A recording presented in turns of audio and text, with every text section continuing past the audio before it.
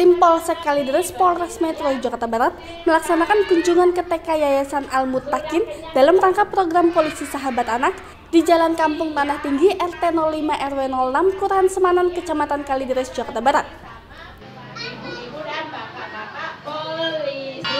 Tim Polsek Kalideres di bawah pimpinan Kanit Binmas Polsek Kalideres Ibtu Hartaya dengan anggota pelaksana Ibda Tugiran Panit 1 Patroli, Babin Kertimas Semanan Aibtu Eka Prasetya, Aibtu Setiati Nur, Serda Siti Ayu Terima Syarah dengan jumlah siswa-siswi kurang lebih sebanyak 54 orang. Naik apa coba? Naik mobil. Yang naik motor Dalam kesempatan kunjungannya, tim Polsek Kalideres memberikan pembinaan kepada siswa dengan memberikan penerangan-penerangan tentang fungsi-fungsi rambu lalu lintas dan cara berlalu lintas yang benar serta memberikan pembinaan baris berbaris. Sehingga diharapkan para siswa sedini mungkin dapat mengetahui bagaimana berlalu lintas yang baik serta membentuk kepribadian yang disiplin. Selain itu, para siswa TK diajak oleh tim Polsek Kalideres berpatroli bersama dengan menaiki kendaraan patroli keliling lingkungan Semana.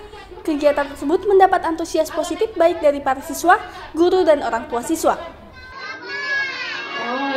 Kegiatan program Polisi Sahabat Anak dalam upaya mendekatkan diri antara polisi dengan masyarakat dalam upaya menjaga Kamtipmas yang kondusif sesuai dengan arahan Kapolsek Kalideres Kompol Pius Ponggeng.